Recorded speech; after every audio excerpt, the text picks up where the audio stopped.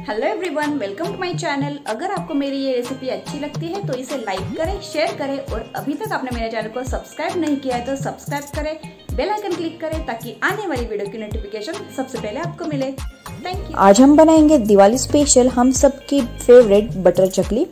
इसे बनाना आसान भी है और खाने में बहुत ज़्यादा टेस्टी है। तो चलिए रेसिपी को स्टार्ट करते हैं। तो यहाँ पे मैंने दो कप पानी लिया है। अगर आपके पास मेजरिंग कप नहीं है तो कोई भी एक कटोरी आप यूज़ कर सकते हैं और वही कटोरी से आप मेजर करें। इसमें मैंने डाले हैं सॉल्टेड बटर दो क्यूब आप अनसॉल्टेड भी यूज़ कर सकते हैं। अब इसमें जाएगा पिंच ऑफ़ हिंग इसे भी अच्छे से मिक्स कर लेंगे। गैस का फ्लेम हमें लो टू मीडियम ही रखना है। पानी को एक उबाल आ गई है। अब इसमें जाएगा नमक।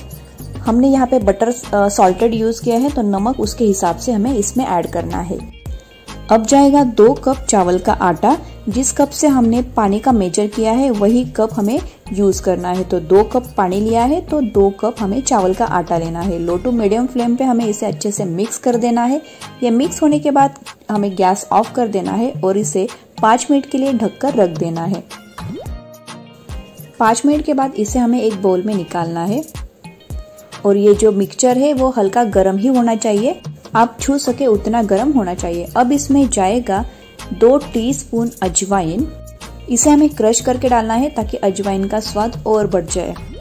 अब हम इसे मिक्स करके एक डो बनाएँगे। अभी हमें पानी का यूज़ नहीं करना है, सिर्फ़ हमें इसे गूंदना है। तो इसमें मैंने डाला है बटर एक क्यूब और इसे भी हम अच्छे से मिक्स कर लेंगे। तो ये डो अच्छे से बन गया है, लेकिन मुझे ये थोड़ा हार्ड लग रहा है। तो इसमें मैं डालूँगी एक टीस्पून पानी। थोड़ा सा ही पानी हमें ऐड करके इसे अच्छे से गूंदना है। और ये जो डो है, वो अच्छे से सॉफ्ट हो गया है। अब यहाँ पे मैंने लिया है चकली का मोड। इसे हम अंदर से ऑयल लगा लेंगे ताकि जो डो है, वो अंदर चिपके नहीं। अब हम डो को मोल्ड में डालेंगे। जितना हमें चाहिए, उतना ही हमें लेना है। और जो बाकी डो है, उसे हमें ढक कर रखना ताकि जो डो के ऊपर की परत है, वो हार्ड ना हो जाए। अब हम यहाँ पे लेंगे एक डिश इसे मैंने ऑयल से ग्रीस कर लिया है। इसके ऊपर कुछ इस तरीके से हमें चकली डालना है। तो इस तरीके से हम सारी चकली बना लेंगे और साथ ही में मैंने गैस पर ऑयल गरम करने रख दिया है। ऑयल हमारा गरम हुआ कि नहीं, ये चेक करने के लिए मैंने यहाँ पे थोड़ा डो डाला है। डो डालते ही बबल आते हैं मतलब हमारा जो ऑयल है वो अच्छे से रेडी हो गया है चकली तलने के लिए। अब इसमें एक एक करके हम चकली डालेंगे। चकली डालते ही तुरंत हमें ज़ारा नहीं डालना है अदरवाइज़ चकली जो है वो टूट सकती है। जब तक ये बबल कम नहीं होते, तब तक हमें इसे टर्न नहीं करना है। और आप देख सकते हैं, अभी बबल्स कम हो गए हैं, अब हम इसे टर्न कर लेंगे। और दोनों साइड से अच्छे से फ्राई कर लेंगे। हमारी चकली बिल्कुल रेडी हो गई है, अब हम इसे निकाल लेंगे और इसी तरीके से हम सारी चकली रेडी कर लेंगे। तो सारी चकली हमारी रेडी हो गई है। अब मैं आपको दिखा देती हूँ कि हमारी चकली कितनी क्रिस्पी हो गई है।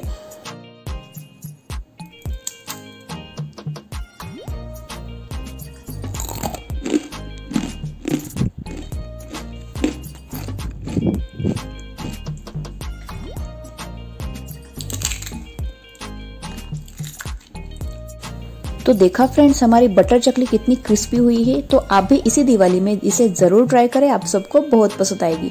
सो so फ्रेंड्स अगर आपको मेरी ये रेसिपी अच्छी लगी है तो इसे लाइक करें शेयर करें। अभी तक चैनल को सब्सक्राइब नहीं किया तो सब्सक्राइब करें बेल आइकन क्लिक करें, ताकि आने वाली वीडियो की नोटिफिकेशन सबसे पहले आपको मिले। Thank you